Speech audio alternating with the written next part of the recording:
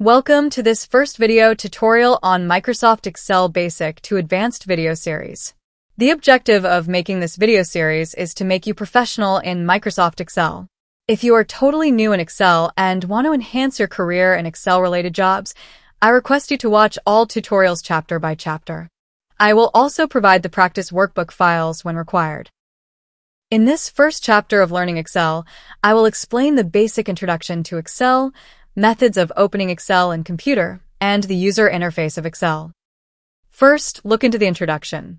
Microsoft Excel is a spreadsheet application developed by Microsoft Corporation.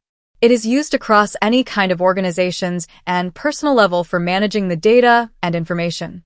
Suppose you are working as an administrator in a school or college and want to maintain the database of students. You can use Excel.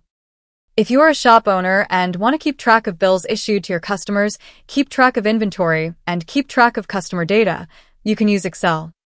If you are an individual and want to keep track of your budget and personal expenditure, you can use Excel.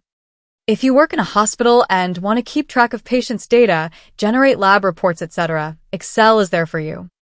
Not only keeping track of data and information, Excel enables you to analyze and visualize the data using powerful functions, formulas, and tools.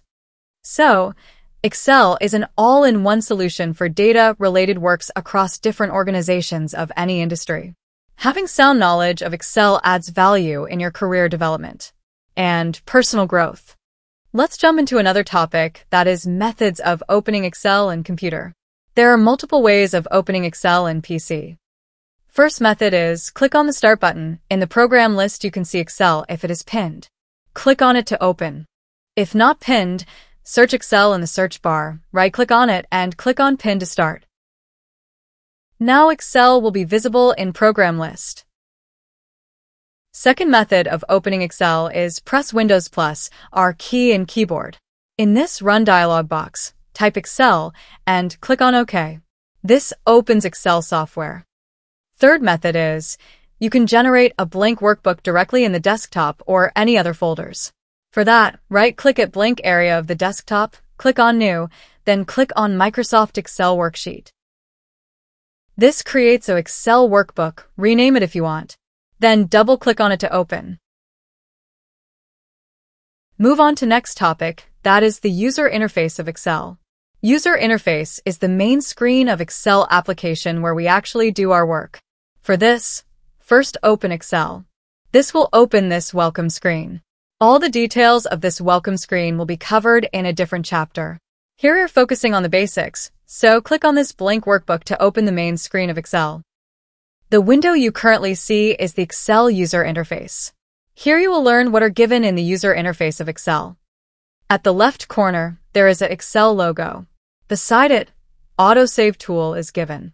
If you turn this option on, the change that you make in your Excel sheet will be automatically saved.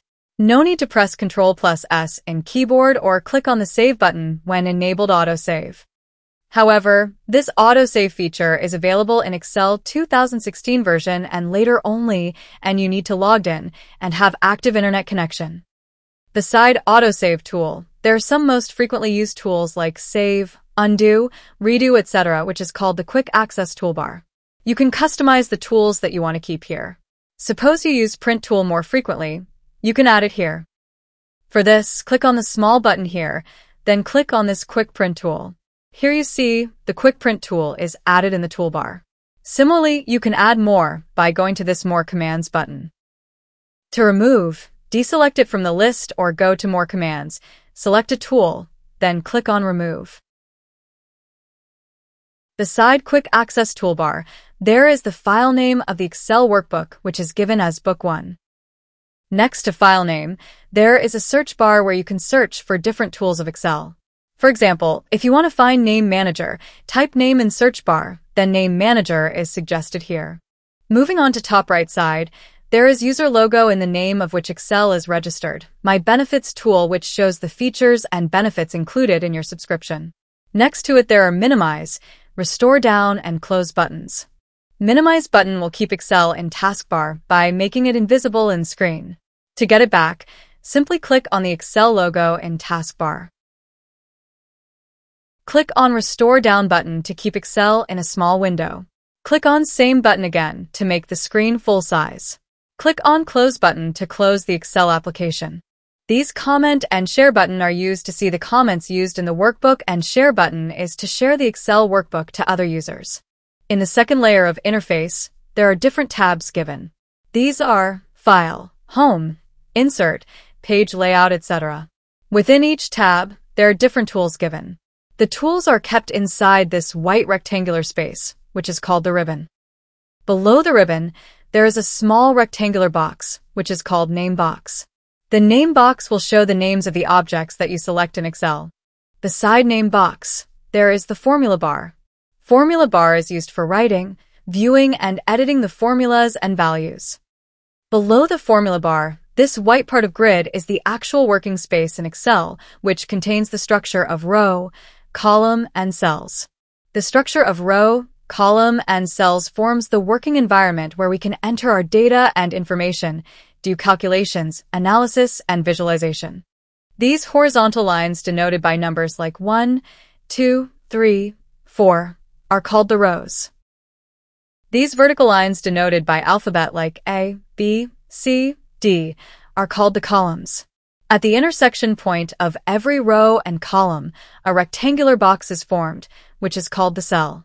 Each cell has its own name or address, which is given by the column name and row number combination. Suppose that if I click on the intersection point of column B and row number 7, the clicked cell's name is B7, which you can see here in the name box. Cells are the actual container of data. In every cell, we can enter different types of data like the numbers, text, symbol, images, formula, etc. Below the grid area, there is Sheet 1 given. In one Excel file, multiple sheets can be added. To add the sheet, click on the plus button next to it. At the bottom right part of grid area, these lines are the scroll bars. Click Hold and drag them to scroll the grid. You can also click on these small buttons for scrolling the grid. Below the sheets, there is a status bar. This shows various information related with the data that you are working with. This you will see after entering some data. At the bottom right corner, there is a zoom option.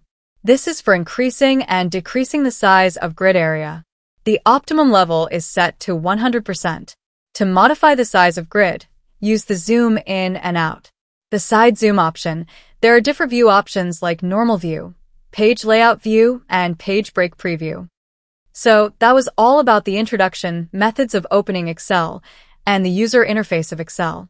In the next chapter, you'll learn how to do basic data entry in Excel, formatting the entered data, how to use basic formulas and functions, and the basics of data visualization. For the exercise of this chapter, try to open Excel using different methods in your computer and see the components of user interface. Depending upon the Excel version and Windows operating system you are using, there might be minor difference with what's shown in the video, but the core concept is same. If you have some questions or queries, please feel free to write in comments. Thank you so much for watching. See you in next chapter.